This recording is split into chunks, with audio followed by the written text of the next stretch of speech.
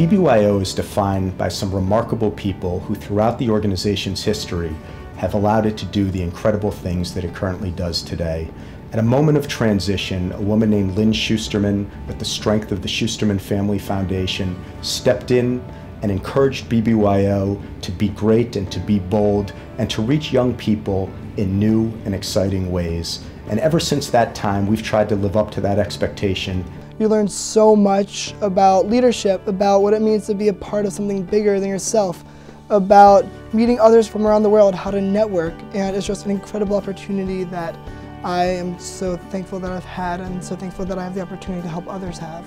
No matter what decade teens may be from, there's still fundamental needs that they all have the need to feel connected to a part of something bigger, the need to have authentic relationships with each other, the need to feel like they're contributing to society. These are exactly the kind of things that BBYO provides. It feels like home. It, it really, really does. Um, my best friends that I talk to every day are in BBYO. Um, the people that feel like family, my role models have all come from BBYO. The girls that I try to take under my wing and be an inspiration to are all in BBYO, and I think BBYO has really been one of the best things that's ever happened to me. What was most important about it for me was that I established a number of friends uh, and established a relationship with a number of friends, and uh, those friends have continued to be my friends uh, for life.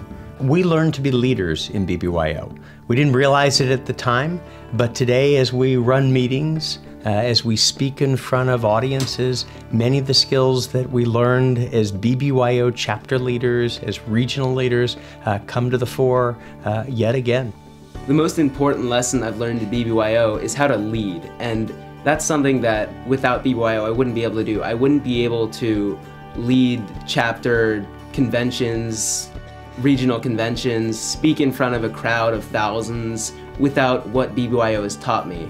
In your younger years, your role is to just be inspired and to take in all of the amazing things that BBYO does and uh, get to know the older members who who see potential in you. I think what's great about BBYO is it gives people the opportunity to try something new, to run a program, to start a new chapter initiative. If you multiply that impact by all of our members, we, we create a storm. And that's what I want us to do. Everything of who I am and what I've become is so much a part of how I was raised in BBYO and what I've learned. So when they asked me to chair the board and pass it on to the next generation, I couldn't think of a more impactful organization than BBYO. It's dynamic, it's youthful, and making a difference for teenagers around the world. So in Bulgaria, our parents know nothing about Jewish community, but us, my generation, we were we started as youngsters. We started children with the summer camps, with BBYO and everything else. So BBYO helped us find our Jewish identity and teach it to our parents. Because unlike the natural situation where the parents teach, in Bulgaria and most of the ex-communist countries, the kids teach the parents what being Jewish is.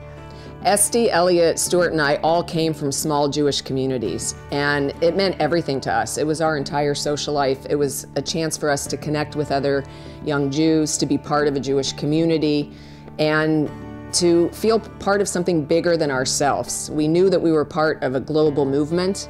We knew that we weren't just individuals in a little town without a lot of Jewish friends. And those connections uh, have propelled us.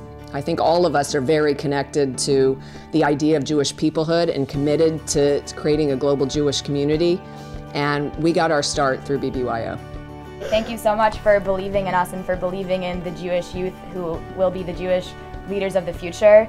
This evening, I'd like to congratulate Stuart, Elliott, and Estee on all that they've done to help BBYO become the organization that it's become after 90 years, and to thank all of you for contributing to all that this organization has to offer the young Jewish teens in this world, and for setting our community on a course where it's enriched by the hope and the aspirations of a generation that knows no bounds.